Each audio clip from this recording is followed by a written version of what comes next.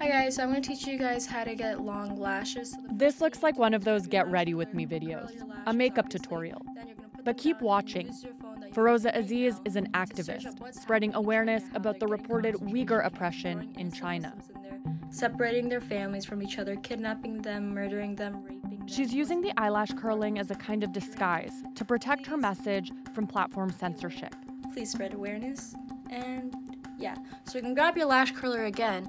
And to simply get more viewers. This post, 3.4 million views. Still, TikTok found the post and temporarily banned it. That's the challenge activists say they're facing online. They're fighting for free speech to get their message out, in part by circumventing censors, real or perceived, and ultimately to get their content in front of you. This is one of those popular day in the life reels, but it's not showing a fun coffee run or a gym date. It's showing life in a bomb shelter and the wreckage in Ukraine. It's also massively popular. Activists like Valeria Shashenok are spoofing popular social media trends to educate their audience about human rights and politics. I think that it's the most clever way to spread information about the topic. I like videos like that, even if someone will post about their, their daily routine. I don't know, during um, like uh, my daily routine in Mariupol. Mariupol now is occupied uh, under under Russian aggression. Here's similar content from Gaza. A day in the life vlog of what it's like to be in Gaza right now. She lays on the floor and tries to sleep in the midst of these horrifying sounds. And another TikTok from Deja Foxx. We walked past the Supreme Court, who advocates for abortion rights in the US. All these have something in common. They're siren calls. Better ingredients, better pizza. Disguised as fun, trendy reels. Better my shoes, better. I work harder. And sometimes activists have to get clever to make sure their messages get out. But there's something you can do about it. On Instagram and Facebook, nudity is restricted, and users can't post content that promotes harmful activities targeted at people. And take TikTok. Users aren't allowed to post content that's sexually explicit or shocking and graphic among other violations. That can make it hard to post videos about controversial issues like war or abortion. Come with me to get arrested on Capitol Hill for abortion access. Deja is one of the most outspoken activists. And she's amassed nearly 4 million likes on TikTok alone. I think some of the hardest parts of creating content in the US um, is the platforms themselves. I think they can often feel kind of neutral, right? These neutral spaces where things do well or they don't, but that's not true. Foxx is an activist and digital strategist who worked on US Vice President Kamala Harris's campaign. There absolutely is an element of strategy. It's the summer of rage, babe. It's time to stop thanking me in the comments and get out there yourself.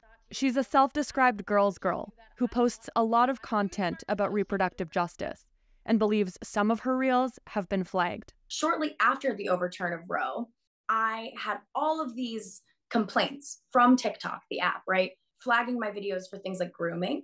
When the content I had made was about reproductive care, abortion, that was legal at the time in all 50 states at the time that I made and posted the content. And retroactively, my account was punished. Um, my reach was diminished. It really had a chilling effect on what I was able to make and create and share um, at a time when people needed that information more than ever.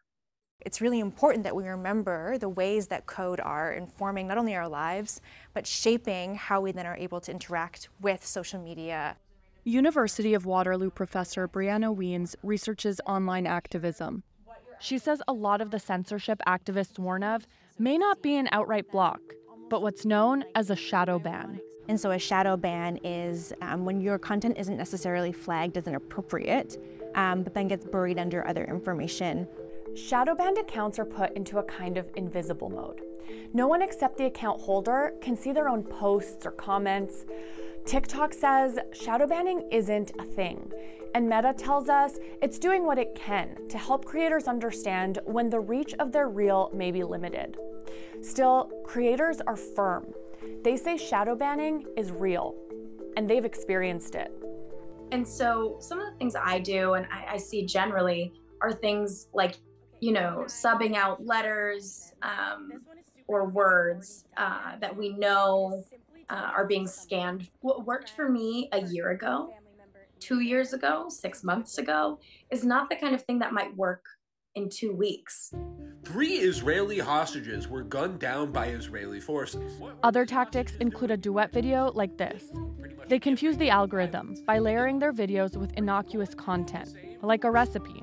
Taylor Swift pregnant with Travis Kelce's baby revealed at the 2024 Oscars. I just want to remind you guys that there's still a genocide happening in Gaza right now. Or using popular hashtags that have nothing to do with the message. It's known as hash baiting. If you can, please donate. The link is in my bio. Multiple human rights groups have warned that platforms are silencing pro Palestine content. We've also found isolated incidents of Israeli content being stifled. In an email, Meta tells us there is no truth to the suggestion that we are deliberately suppressing voices. But activists don't buy it. Have you noticed that when you share something on Instagram to do with Free Palestine, you get less interaction and engagement than normal? Adele Walton is a British Turkish content creator and journalist. She's written about Palestine activists who've been posting about Gaza and makes pro Palestine content herself. She says they've all been posting strategically. Things like Face for the algorithm, where people post a selfie and then they have a caption in relation to Free Palestine and what's happening in Gaza. I've seen a lot of TikTok commenters um, commenting things unrelated to the post. So, say if someone does a post on Free Palestine, the comments will ask things like, Where did you get your top from? or What battery percentage is everyone on? That's effective because it increases engagement, which then gets the post in front of more people. That's the primary benefit of you sharing Palestine content, it increases its ranking. Is the um, watermelon another example? I think the fact that the watermelon emoji has become like synonymous for the Palestinian flag is an incredible example of that activism we see online. Young people have identified something that can be used to be symbolic in relation to Palestine, yet will subvert the algorithmic censorship that they've been subject to. Especially for us working in the broader China space, um, overcoming censorship is something that we often have to deal with realize that the Chinese authorities crack down and oppression against human rights and democratic freedoms affects every single one of us. Hong Kong activist Joey Siu is currently living in exile because of her activism. There's a warrant out for her arrest if she returns to her home country. We have been sticking with um, social media platforms except for TikTok. They have been issuing shadow bans on any of our content. So, a TikTok representative said that shadow banning isn't a thing. And I'm wondering what your response is to that. We have also heard from Twitter that, for example, shadow banning is not a thing. Um, however, what we have experienced is that we have seen activists whose um, usernames, when put into the search bar, it no longer appears. Um, we have also seen how, you know, on TikTok especially, how um, content about, um, you know, anything that is in criticism of the Chinese Communist Party never showing in people's, you know, homepages. It's an always changing game of cat and mouse, with one side tweaking its algorithm and the other trying to get around it. Research shows that online activism has inspired real world action. In fact, it's completely changed activism by giving organizers unprecedented reach to new audiences all around the world. We've just never experienced in this kind of infinite connection that none of our parents or their parents could have even really imagined. Yes, it is absolutely because of these social media platforms, because they exist, but it is also because of the way uh, primarily teen girls have pushed their usages, have reimagined the way you could use them to create change and create community.